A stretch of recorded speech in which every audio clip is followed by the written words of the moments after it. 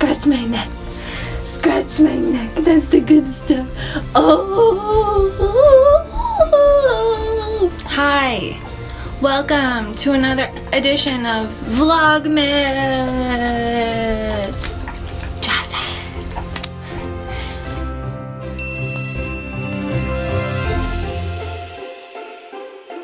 I got Levi here eating a bully stick. Hope the chewing noises aren't too much for you. If they are, don't watch this video. This is an all about Levi video.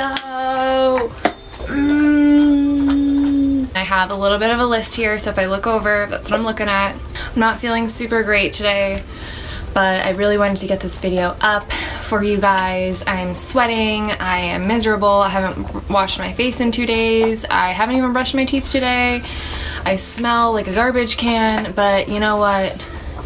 This stuff makes me happy. Let's start where I was in my life when I decided that it was time for a full-time service dog. It was like the beginning of 2015. I retired my previous service dog, Daisy, and I was really distraught. I hadn't left the house in six months to a year, and I didn't know how sick I was physically and I was just coming to the realization of how sick I was mentally at the time. I originally got him just to be a psychiatric service dog. When I found his breeder, they're like the most notable golden retriever breeder in central Florida. In June 2015 I was really sick. I it was like the biggest deal in the world for me to leave the house and go visit the breeder. I was so nervous that I was in tears like all the way there because I couldn't have my other dog with me. Like I said, it was just a huge, huge deal for me.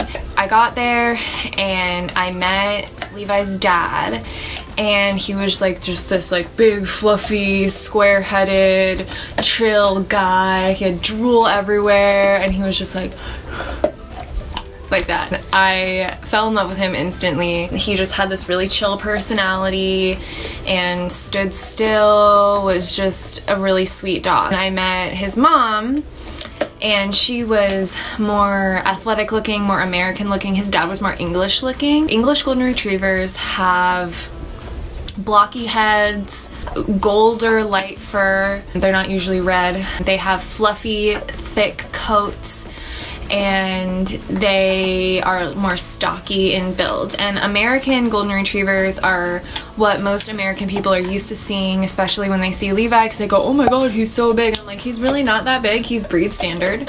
His mom, she was really intelligent and her eyes were darting everywhere and she was super interested in me. She was so smart. She was just like on top of everything. And she had a slender build, a sleek reddish coat, small head. I just had this gut feeling that those were the parents that I wanted for my service animal because one was too chill and one was out of control, like super ADD. So I knew that that together would make a really, might make a really good service dog. Why did I go with a breeder instead of just going to the pound? And getting a rescue.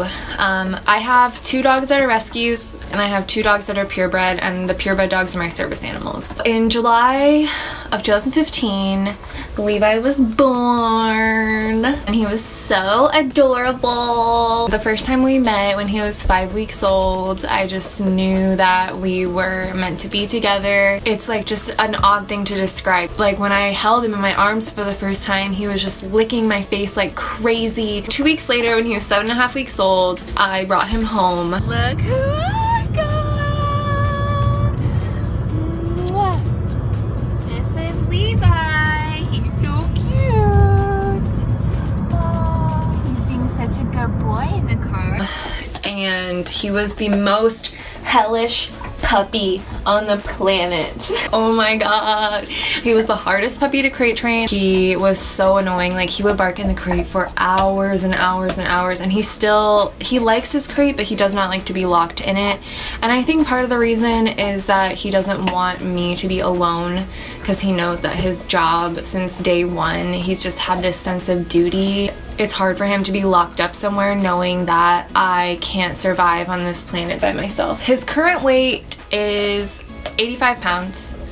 When he had his surgeries, he dropped down to about 80, 78 pounds because he got out of shape and he lost he lost some muscle weight. His breed is full golden retriever. I know that with 100% positivity. Breeds that people mistake Levi for are often Newfoundlands, um, St. Bernard golden retriever mix, golden retriever Labrador mix. The blocky head makes him look confusing to people. I'd say he's like 95% breed standard. He's golden color. He looks red in here because my walls are red and he has a very typical golden retriever temperament.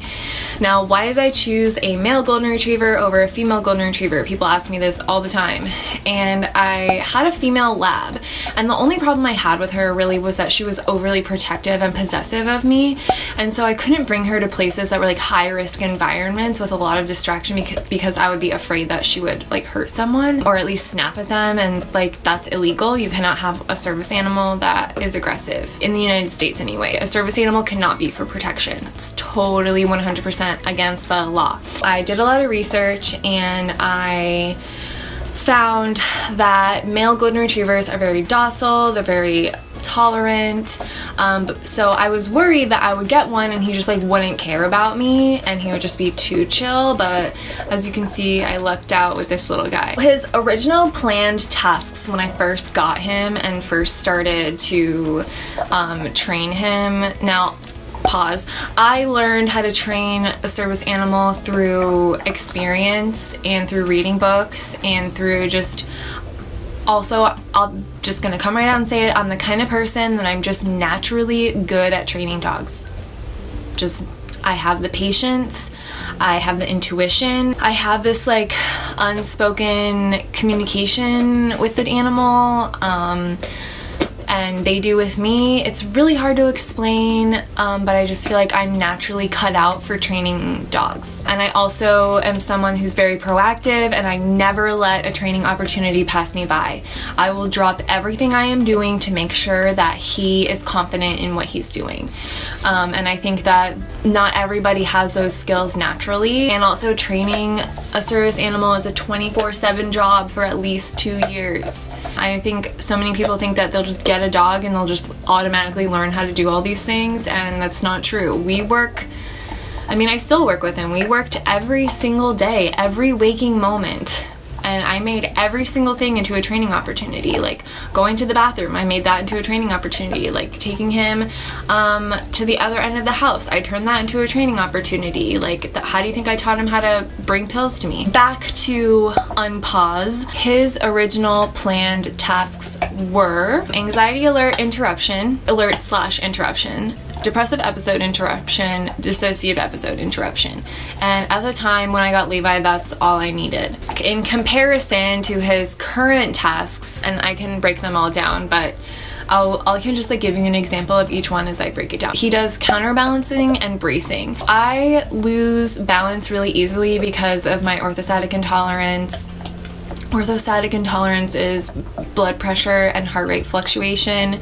I don't have POTS, but my adrenal fatigue from my Lyme disease, Epstein-Barr virus, blah, blah, blah. If you want to know all about that stuff, go watch my chronic illness journey videos. Because of those things, I need him to be able to catch me when I fall, basically. Like literally catch me when I fall. The next thing is fatigue alert slash crash alert. He did this so well the other day at Disney in my Epcot vlog. He basically will tell me when I'm gonna have a major crash. Crash being defined by I can't get up, I can't hold my head up, I will just basically turn into a vegetable thanks to Lyme disease and myalgic encephalomyelitis. He's doing that really well lately and I don't really have the time in this video to tell you how I train each one of these but just like message me, let me know, comment here what tasks you would like me to go over, how to teach or how I taught him because I would love to help other people learn how to do it. Nina, my god, boy. Back to the video. Now, he also will bring my pills to me. My mom is my caregiver and she makes my pills up in the kitchen and then he will take them from her in the kitchen and bring them back to me in my room and so she doesn't have to come back here and disturb me if I can't like interact with someone or I can't put up with noise. His next task that he uses a lot is Hey, thanks for watching Vlogmas Day 12. Click the link below to learn about the rest of Levi's tasks and his knee surgeries.